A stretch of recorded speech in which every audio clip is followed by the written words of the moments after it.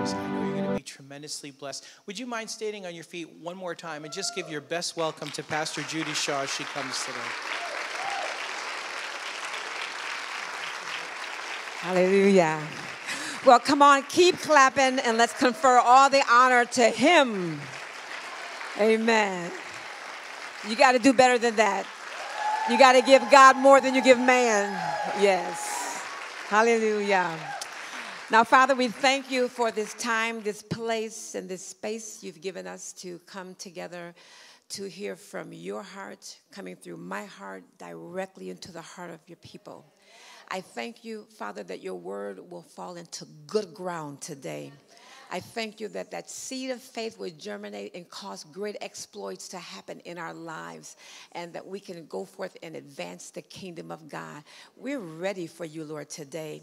And we thank you for the word that's coming, tailor made, designed for today. We bless you, we praise you in Jesus' name. Everybody say amen, amen, and amen. Amen. You may take your seats in the presence of God. Uh, good to be here. Um, Pastor Glenn, um, he's just a man, right? He's, he's, he's, just a man. I praise God for him and uh, Denise, his wife. Hey, Denise. Uh, and all of you that are here, uh, the armor bearers that are here, and you that have come to uh, be a part of this great celebration service today. Uh, I was in the area and I had already planned to come to my church. Yeah. Yeah, that's a lot of churches I can go to around here. I just want you to know, just in case you didn't know. But this is my church, amen. And so it didn't matter who was preaching, didn't matter. I was going to be here, and then he got wind of it. So now I'm here. But I do have a word of the Lord for you today. And I just bring you greetings from South Dakota, Sioux Falls, where God lives. God loves Sioux Falls, even though it's a little cool and cold right now. But um, the Spirit of the Lord is still there where He's called us to that geographical area for a base but able to do other things as we go forth. And it's always good to come to the New England states, especially to be here with you. I really mean it. I really love you guys. I really do. Yeah. Okay. We love you, Judy. Oh, yes, we do. No, I'm just. the word of the Lord today um, comes from uh, a theme scripture, the 16th chapter of the book of Matthew. And uh, if you know it, if you don't know it, you've heard a little bit on the screen about what's happening tonight, starting tonight. Very, yeah, you know, good. Very, very important time in God's history, in our history. And, and it, it's indicative to uh, what's going on in the world, but so much what this present message is today. And it didn't dawn on me that this was the Sunday evening that it starts, and that is the beginning of the 10 day preparation for our Jewish feast and so on. And prophetically, God's going to be saying some things that you may not have heard before. He's going to say some things again that He's already said.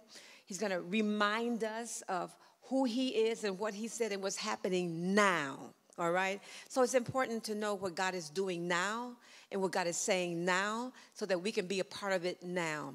Everybody else was a part of it in their generation. Our patriots and fathers, and Esther, and, and Paul, and, and James, and all of them, but they're gone, and we're here. So we want to declare this generation, and we want to hear what God is saying so we can do our part. Amen. How many are ready to do your part? I mean, we're ready to do our part. We're just not coming to church just to come to church. We like ready to do our part, Lord. Count me in. I said this morning, I don't want to be numbered. I want to be counted in. I just don't want to be numbered. I want to be counted in the work of the Lord. And God is always looking for those believers, those that will say, Yes, uh, I'm ready to co labor with you to do what you called me to do. We have a purpose to our lives, there's an assignment to all of our personal lives. If you have a name, if you're breathing right now, uh, you have an assignment before the foundation of the world. You have a, you have a God given purpose, and it wasn't just your secular job. It wasn't just for you to be the wonderful husband you are to that beautiful lady right there. And it wasn't just for you to be the beautiful wife to that husband right there, or the daughter or the son. But God purposed you in his plan to carry out what he has called you to do. It includes that, but it's not exclusive of that. You got that? So you got you you got you have your your careers, your secular careers, but you have your heavenly vision also. You've got your calling. You've been called by God. You've been appointed by God. You've been chosen for this generation, and God needs you. And God wants you, and God loves you. So, the 16th chapter of the book of um, Matthew uh, gives an, a, a, really an admonishment to us uh, as Jesus was asked, answering the question to the religious people, the scribes and the Pharisees in that day. And so, you know, church folks think they're smarter than God a lot of times. I'm not talking about you, I'm just talking about church folks. Yeah, sometimes you get, you know, sometimes that education goes to your head. Am I right about it? Sometimes education goes to your head, and that religious stuff goes to your head because it's not in your heart. But anyway, that's another story the, the, scribes and the Pharisees were asking Jesus a question, and this is what they said 16th chapter, of the book of Matthew. The Pharisees and Sadducees came to Jesus, tested him. That was the first thing. You don't test God, you don't test Jesus, right? They tested Jesus uh, by asking him to show them a sign from heaven. You're, you're Jesus. Show us a sign. You know, we're from Missouri. Show me. You know, I need to see this thing. You know, you're saying you can do all this, but I want to see a sign. And, and, and, and so they asked Jesus. Jesus replied, When the evening comes, you say, it will be fair weather, for the sky is red. And in the morning, Today it will be stormy, for the cloud is red and overcast. He said, You say that. You can discern that. He said, You know how to interpret the appearance of the sky, but you cannot even de- interpret the signs of the times. A wicked and adulterous or unbelieving and an adulterous generation looks for a miraculous sign, but none will be given because he's already given the sign, right? None shall be given except the sign of Jonah. Jesus then left and went his way. Gotta see a sign. Jesus said, You're so smart. How many know that? Let me tell you, just in case you didn't know, you're smart people. Yeah, you're smart people. And if you're not smart, let me prophesy it over you. You're smart. By faith, you're smart. Receive it in Jesus' name. but but here's the thing. Jesus was saying to them, you are smart and you can discern things. There are natural indicators that gives an answer to something. Also, there are spiritual indicators in the earth. And he said, You got the natural indicators pretty much. You can look at the sky, and because of your education, because of the patterns of the weather, because of this and because of that, you can discern it. You can say, Get the umbrella out tomorrow, it's gonna rain. You can say, Pull the shades down, pull the close the windows, it's getting ready to rain. You can discern that. But he says, You've not been able to discern my kingdom. But you can. But you've not been paying attention to my kingdom and what I'm doing. So I really just came to remind you today to it's time really to pay attention to God's calendar. Especially on this day as we're entering into the feast of the, uh, the Jewish feast and so on, because it's God's calendar. And I need to say to you that we can change appointments on our calendars and we can change uh, things on our calendar, but God's calendar does not change tomorrow, October 3rd, 2016, you are not going to be able to change what's coming down from heavens to the earth. You can't change it. If it's a day for you to suffer, guess what? You're going to suffer. If it's the day for you to be blessed on God's calendar, you're going to be blessed. Whatever God has already, I'll say it again, already prepared is not going to change.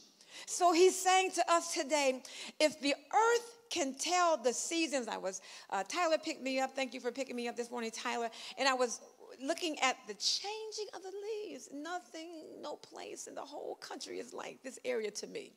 When I come here down Waterbury, see the leaves, the foliage changing beautiful colors. If the, if the plant kingdom can, can change when the season comes and they're not struggling, Is it wintertime? Is it summertime? No, they know it automatically. The, automatically, the elements know exactly what time and season it is. The soil right now is preparing for the winter. The soil is. The animals, they're, you know, somebody, I remember a, a, a, um, a joke when I was coming up, one of my favorite jokes. It says, Why do birds fly south? You don't know that? You know, I mean, the animals even know it's time to go south, right? Why do birds fly south? You don't know? Because it's too far to walk.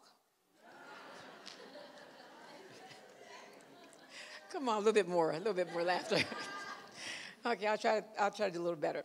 But listen, even the, the animal kingdom knows they, they, they can begin to hide their food. They know the season is changing. So, so it, it, it behooves us to get an understanding and to pay attention. And we really know this, you know, but but like the scribes and the Pharisees, they can have a knowledge of it, but don't know what God is doing in that given time. So I want to say to you, smart people, discern the times and discern what God wants you to do in His day at this time.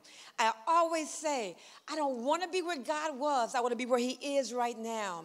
I don't want to be what, what God used to do because He's not there. He's, he's not in the past. God's in the present. He's in the moment. He's in the moment, and it behooves us to know what God is saying for our lives. And so the, the message is not just corporate, but it's individual. I want you to know that there's a plan, there's an exact plan for your family. There's, there's, there's, there's, there's the next thing that you need to discern. Maybe you've been going straight, straight, straight, straight, straight for 10 years, but God says now it's time to make a left turn. But if you miss it, then you miss what God has for you because the calendar of God does not change. So he wants us to be aligned with his calendar and to discern it and to know it. And as we seek him and as we ask him, as Proverbs says, everything in everything that we do, to consult him, to honor him, to acknowledge him. Say, God, you know, don't present your agenda to him and say, bless Don't well, this is what I think for my life. You, our destiny is not determined, it's discovered. Because Jeremiah says, I've already written your life. I know the plans I have for you. And they're plans to give you a good end, an expected end, and I got you covered. You just got to follow my plan. You can't expect me to bless your plans if it's not in alignment with my plans. A lot of people say, well, you know, whatever's going to happen is going to happen. You know, and, and, and God's going to, uh, uh, he's going to, he's in, he's in control. He's only in control if we submit to his will. Yeah, he's only in control if we say, Yes, Lord. He says, Okay, come on with me. I got you. So, timing, uh, discerning the time, understanding what's, what's next for you. What's up? What, what, what is God saying for you in 2016? Prophetically, he says something to the body. That's good. We can get under that umbrella because that's spiritual fulfillment. And then individually, he speaks to us. And then generationally, he speaks to us. And territorially, he speaks to us. And I believe that God's got some good plans for New England State. I believe that God's got some great plans for harvest time. I know you're in the will of God. And I know your families are blessed because you're right here, because you're doing what God has called you to do. So that's, that, that's really the message that I want to bring to you to pay attention to God's timing. Don't just get up and do what you want to do and set your own agenda. Check in with headquarters. He's not only Savior, but is He Lord? Lord means He leads me. David says, you know, that, that He's the Good Shepherd and he leads us. He leads me. He actually will lead you into green pastures and still. I mean, he will lead you to where he wants you to go if we will pay attention. And inadvertently and unintentionally, we just get up in the morning and we just do what we do without checking in, without really getting a good understanding to make sure we're in alignment with the timing of God. Sometimes we can do a thing so long, so long, so long, so long, so long, so long, so long, so long, so long, that we don't even think that it's time to change. We don't even think about it. but, but, but, but God always calls new times and new seasons. And another, another good thing to pay attention to timing because he's ready to promote some of y'all. Promotion is over your head. It's time for your next. It's time for you to, to be a reward, to get your reward from being faithful. Come on, somebody. It's time for you to get your reward. And when it's time for your reward, it's not time to be praying, praying, praying, and working, working, working. It's time to say, Bring it on, Lord. Come on, it's my, it's my season. Come on. It's after you sold and you sold and you sold and you sold and you sold and you sold and you sold. You just don't keep sowing until Jesus come. There's a reaping day. There's a reaping time. There is a fulfillment of what God has said, and He wants you to walk in it, enjoy it, and give Him the glory and come to church next Sunday saying, He's a good, good father. That's who you are. That's who you are. And I'm loved by you. And so this is what God is saying. He's like, you know, you, you can understand that it's a season, uh, as Psalms 102, 13 says, it's the time to favor Zion because God is ready to show himself big and great and mighty. And so he has to have a people to bestow this blessing upon, a people to bestow this honor upon, so he can say, Look at my kids. So he can showcase you. Woo, look at this, look at this outside. That's, that's what you call a showcase right there. Show, you don't like it? I'm sorry, it's too bad. It's up already. That's what you call giving God the glory. That right there, that right there, that is going to say, they're going to say, Who? How? What? How? All of that. And they're going to end up seeing the glory of God. Come on, somebody. And that's what you've been doing.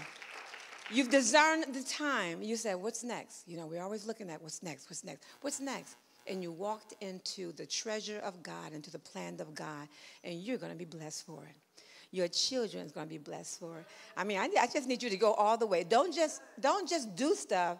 Ask and believe and desire. It's time to receive what God has, and that's the favor of God. It's always seed time and harvest. Amen. It's always seed time and harvest. And so, so he says, you know, he said, you got to get smart. And I want to say to the body of Christ, it's really time to get smart. It's time to, to, to embrace the timing of the Lord. It's time to, you know, change this and say, you know, God's ready to, to, to release the harvest. God's ready to do what he says he's going to do because that's the season that we're in. It's the season to, to co labor with God, to do what He's called us to do, to advance the kingdom, but it's also a season of God's favor for you. After you have done the will of God, you have need of patience to receive the promise. Amen. You're still here. Now, that right there would have, could have caused many people to say, mm, you know what? I feel the Lord leading me to go to another church. I mean, that could have happened. But you're here. You know why? Because you understand how God works. And you do know that you don't cast away your confidence of what He said. Because there is a great recompense of reward, isn't there?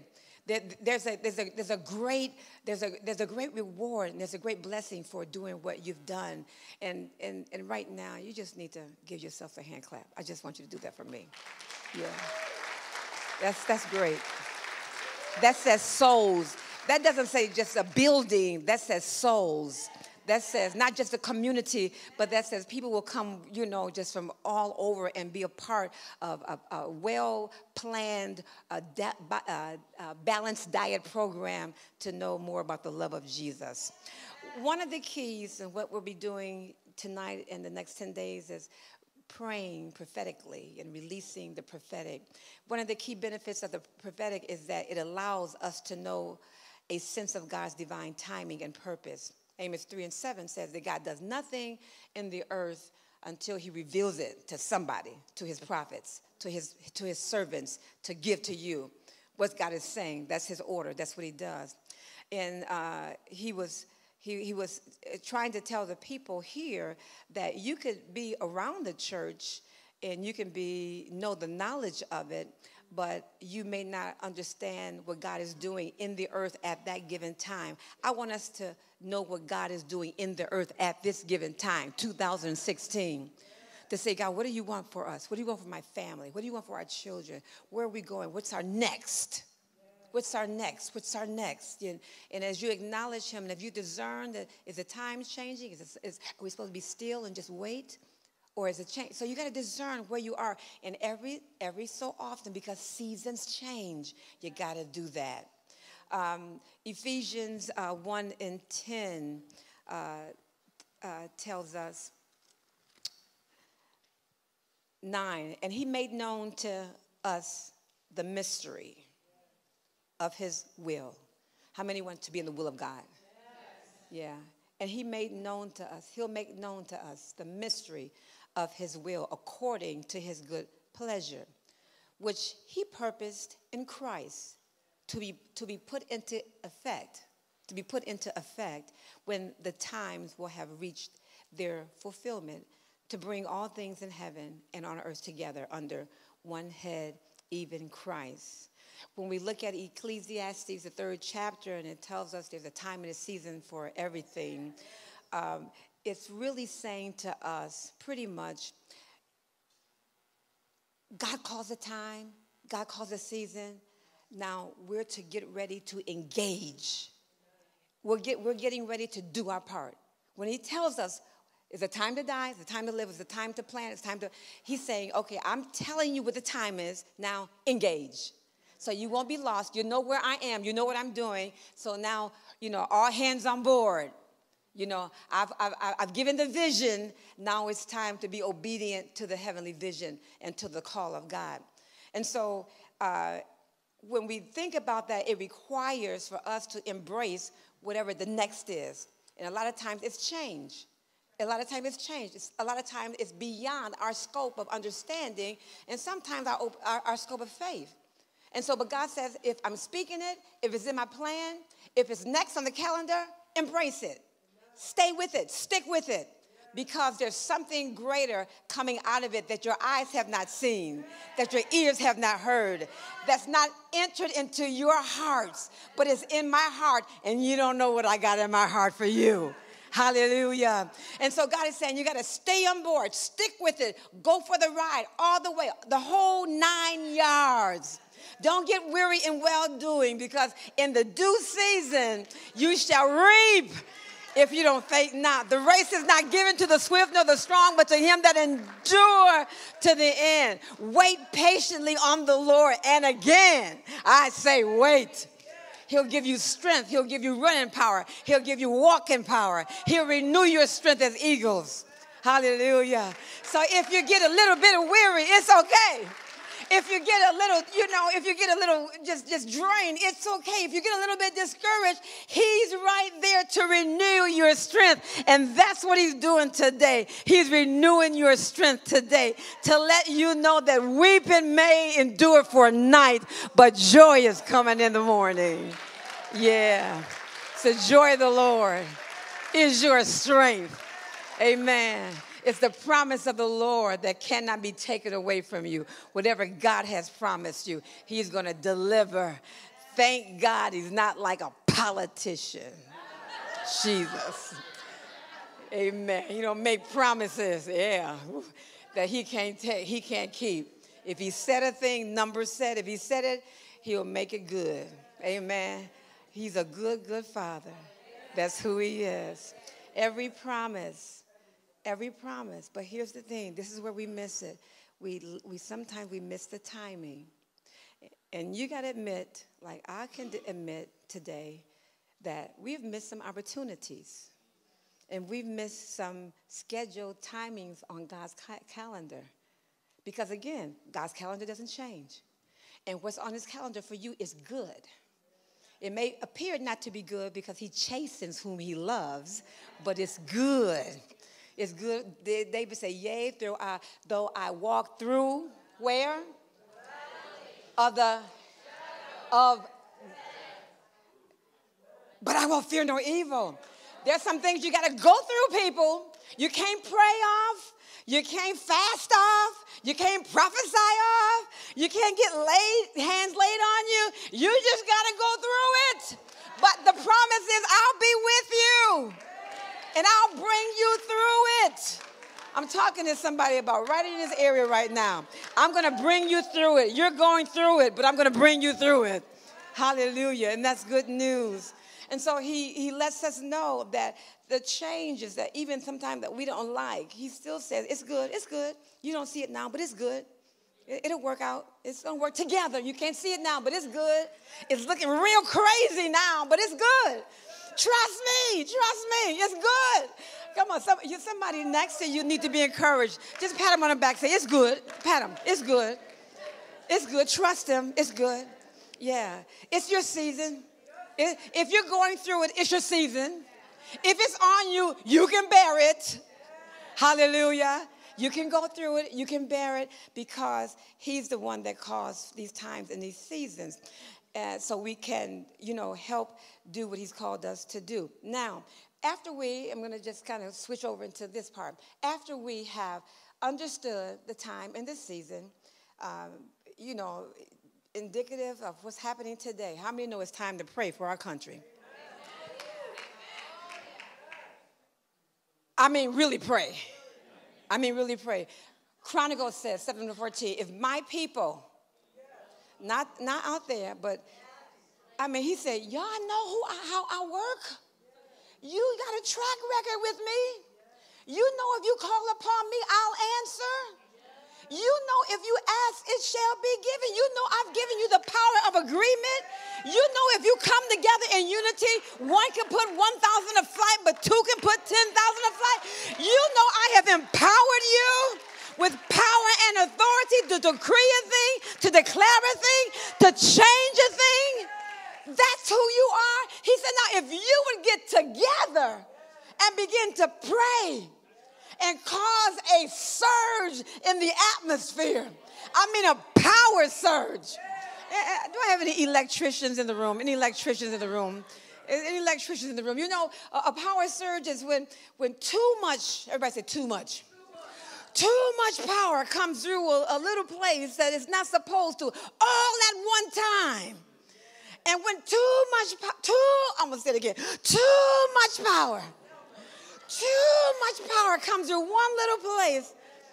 And when there's too much power at the same time, it's an explosion. I mean, everything gets fried. Your computer gets fried, your microwave gets fried, everything on the other end gets for I say the body of Christ need to come together with too much power from the east, the west, the north, the south, coming here and praying all of it, I mean, at one time, like they did for the walls of Jericho to fall.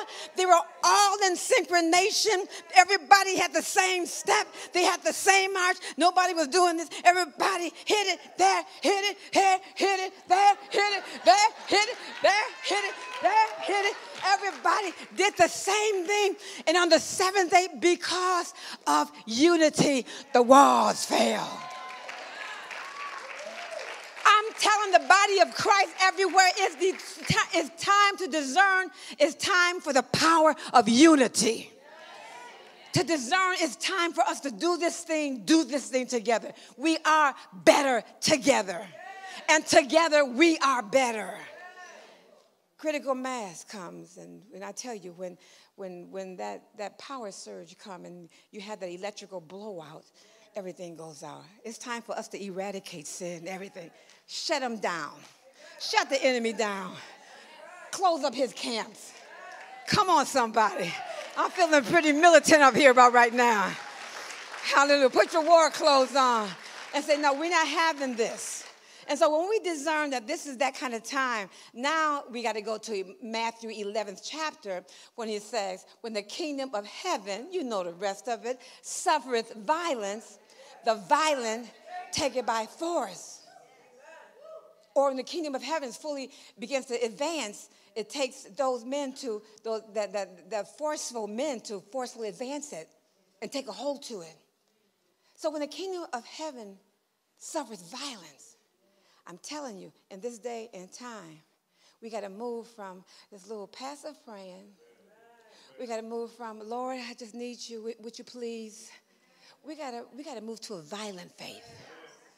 That's where we, that's the discernment that we have to understand that as the intensity in the kingdom of darkness goes up, the intensity of the power of God goes up. Ain't nobody playing. Where sin abound, grace qualified that grace. As sins abound, grace much more abound. We're on top of this thing. We're not just meeting it head on head. No, we're on top of the enemy.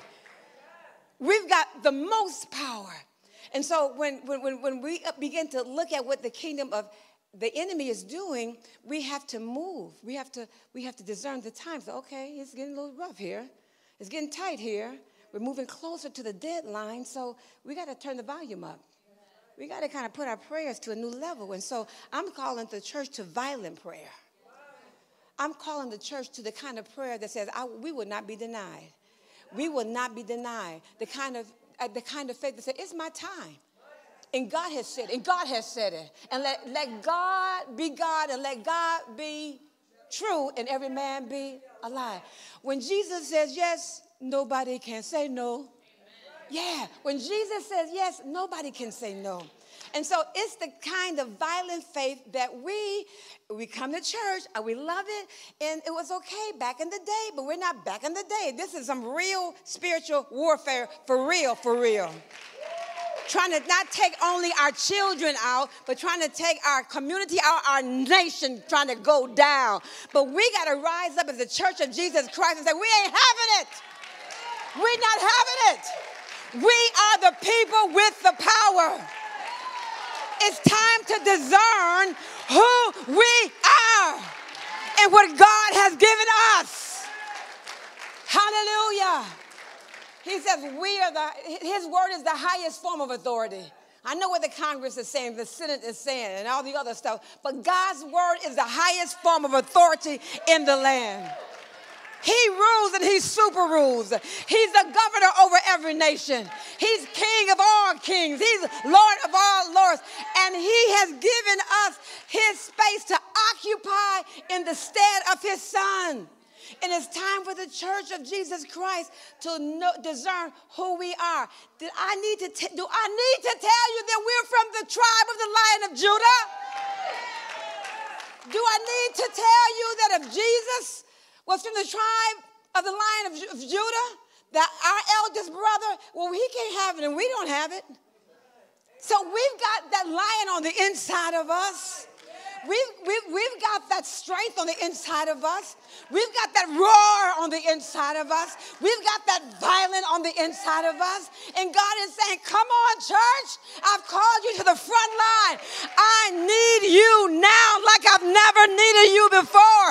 Yes, I've blessed you. Yes, I've prospered you. Yes, I've given you your desire. But now it's my time. It's time for my desire. And I've given you nations. Now I need you to stand and defend this gospel. I need you to defend. I need you to contend, as Jude said, for the faith that was once delivered to the saints. Need you to, to contend for that kind of faith that once delivered the saints and that once was delivered to the saints. It's an overcoming faith that can overcome anything. That's what we got, people. That's who we are. And God is saying, I need you to have that kind of faith that will not be denied. And says, I will, I'll, I'll do whatever I have to do to see the, the, the, purposes of God come forth. Four men carrying the paraplegic man in the second chapter of the book of Mark said, You know, we can't get him in the front door, we can't get him in the back door, we can't get him through the window. But you know what? I'm determined to see this man healed. I'm, I know if he can only, if Jesus can see him, if he can only get to Jesus, he's to be healed. And it's my responsibility. I mean, it was four of them. It's, it's my job. We got to get him in there. That's my assignment. They found a way. They crawled up. They went on top of somebody else's house. What? Tore a hole in the roof of somebody else's house. That was violent faith. I mean, today you can get shot for that. I ain't talking about going to jail. I'm like, you can get shot for that. Intruder, bam. Talking about Jesus? No, where is he? That He will save you or resurrect you, but you're going down today. But you know what? They didn't care. They had one thing. They, they, they discerned that this is the only chance that this man can get to see Jesus because Jesus is always passing by. Come on, somebody. And so this is the only this is the only chance that we got. And they were passionate about it, and they knew that that was their time to get this man healed. And they brought him down through the top of the roof. And then Jesus looked up, and the Bible said, translation by Judy Shaw, and he saw their action. And he saw their faith because violent faith turns into action. Violent faith begins to say, you know what? You're not doing this to me. I'm not taking this. Violent faith says, I'm angry. Church folks need to get angry. Not at your husband either. And not at your wives. And really not at the politicians. We need to get angry with the kingdom of darkness. We need to get angry with the perpetrator because we, we don't fight against flesh and blood. I don't care what their names are. We don't fight against man or woman. It's the principality that needs to come down. It's with the influence behind them. Because at any minute, watch this, watch, watch the Lord flip the script at any time. Both of them can get saved tomorrow. I mean, for real, for real.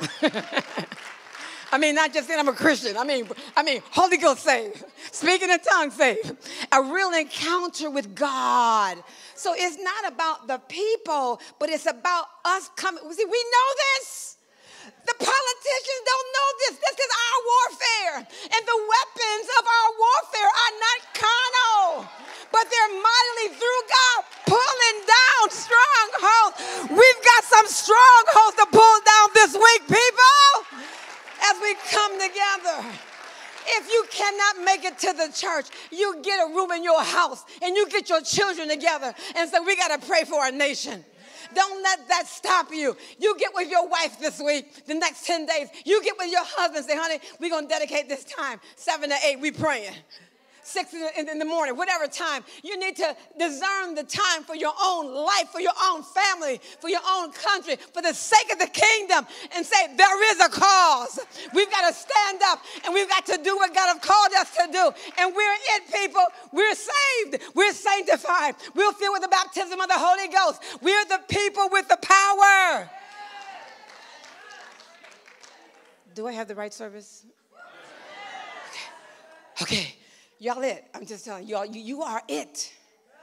And he's dependent on you. Let me quickly tell you that as you embrace what God is saying today, that that that we have to take it by force and how we do that. 1 Timothy 6 and 12 says we gotta fight. Gotta fight. You fight for everything else, you gotta fight for this. Come on, somebody. You gotta fight. He says, fight the good fight of faith. Not just talk, but fight so we can lay hold to what God has given us. You are ordained to fight.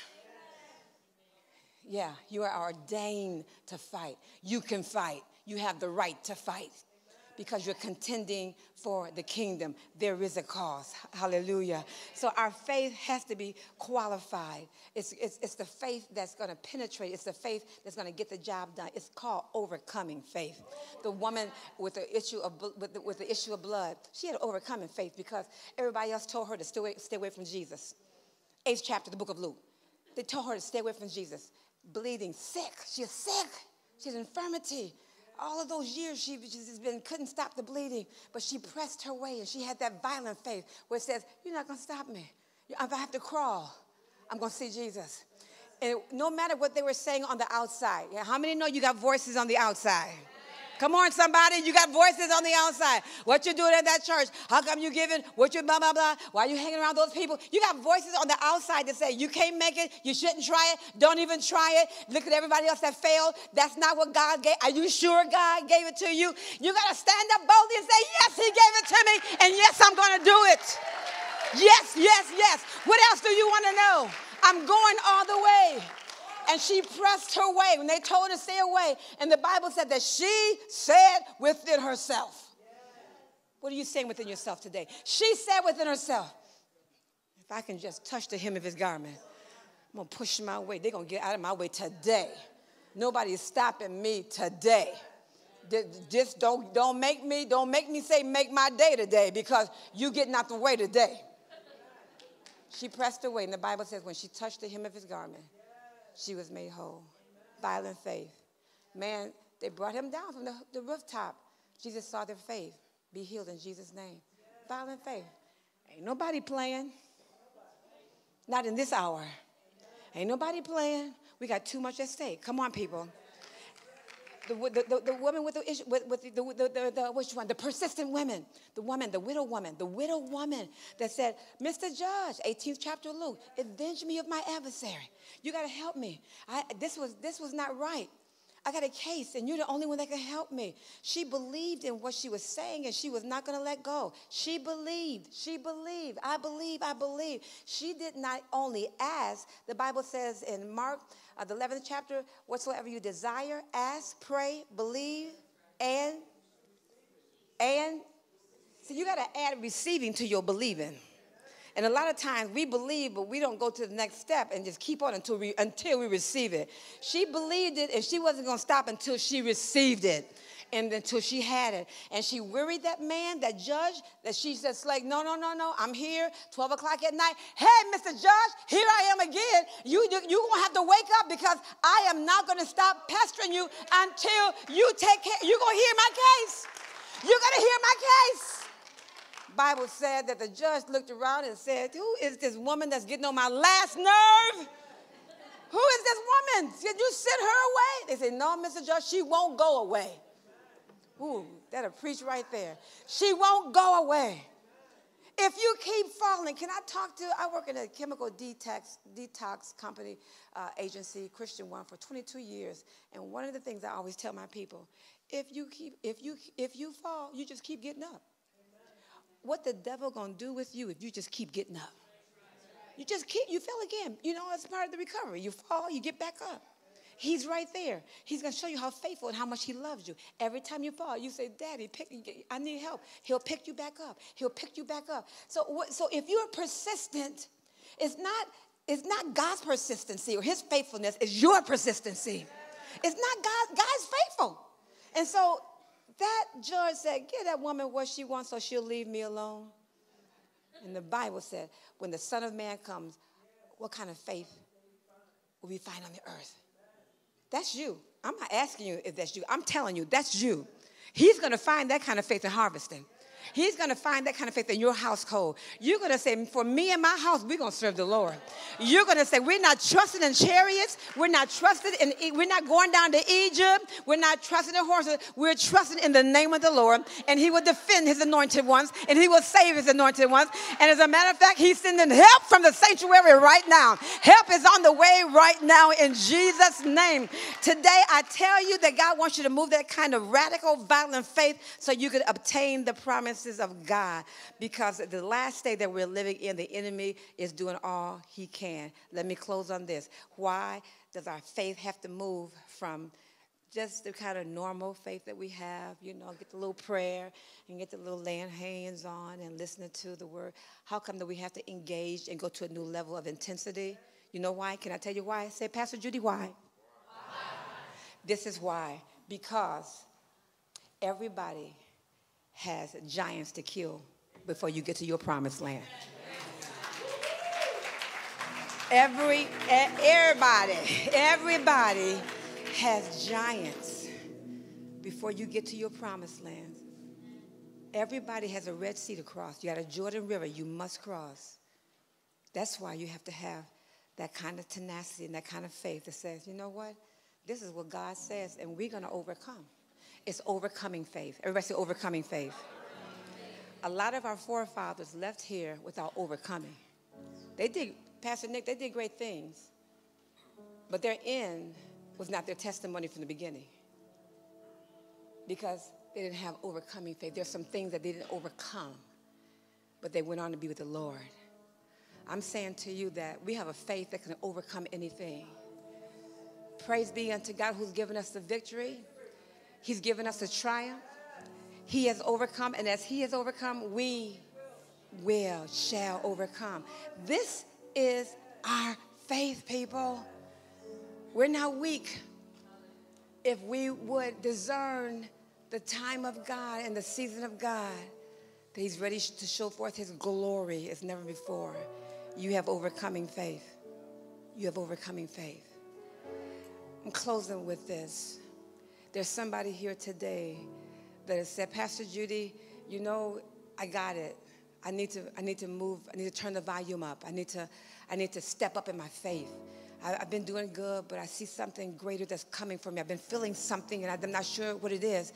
And I'm telling you, it takes that next level of faith to obtain what you're feeling, what you're sensing, and you're nowhere, and you're like, ah, I'm not sure. I'm saying today that God has sent me here to release a, a out of this realm of supernatural faith that you need. This, this, even this fight and this grace that you need to go for and obtain and walk in this faith. And if you're bold enough to stand and say, I need that, I'm bold enough to open the heavens and cause a release to come upon your life in Jesus' name. Because that's what I do. That's what I do in Jesus' name. I speak to every businessman. I speak to every businesswoman. I speak to every father, every mother. I speak to you that have lost your way. You that have fallen off the wagon. You that have said, God, I've milked this level dry and I, I, I, I, was here, but there's no more anointing on this level. There, there's no more resource on this level. I don't know what to do. I'm telling you today, the Lord is taking you up higher today on a new ram and He's releasing a fresh grace and a fresh wind upon your life and giving you some understanding to say, It's my time and I'm going out for violent faith. And the violent take it by force. You got an inheritance. Paul says, Woe unto me. I got a debt to pay. You got an inheritance to fight for in Jesus' name. I want everybody to raise your hand. Raise your hand, everybody, everybody. If you can, I want everybody to raise your hand. Raise your hand. Father, confirm your word with signs, wonders, and miracles. I thank you that the word is not only letter, but it's spirit. I thank you, Lord, that the word is an ever increasing word. I thank you that faith cometh by hearing and hearing the word of God. Father, I've delivered your word. Now deliver your people. Father, I thank you for fresh grace that comes from your throne to give them the wherewithal, the strength, the tenacity to hold on and not let go. Father, I pray, God, for that determination. I pray, God, for that refocusing. And I pray that they would realign themselves of understanding that this is the time, this is the day of the Lord. Father, I call for an activation in the body of Christ right now. I call for a re engagement. Some have just fallen back and have given up and have let discouragement come into their lives. But I say, let God arise and the enemies be scattered. Father, I scatter disappointment. I scatter doubt. I scatter confusion. I scatter everything that tries to hinder your work and advance your people. I speak in the name of Jesus and say, go in the name of Jesus. Father, release your love, your spirit, God your sound mind upon your people in the name of Jesus. I decree and declare that they're going to leave out of this house, God, stronger, greater, more insightful than they've ever before, have ever had or ever done before. I release them to a new place in you today in Jesus' name. Open their eyes, open their ears, open their hearts and spirit I thank you, Lord, that this word has not just fallen in the head, But the information in the head goes right to the heart because you said, with the mouth we confess and with the heart we believe. I thank you for this word going right into our hearts today.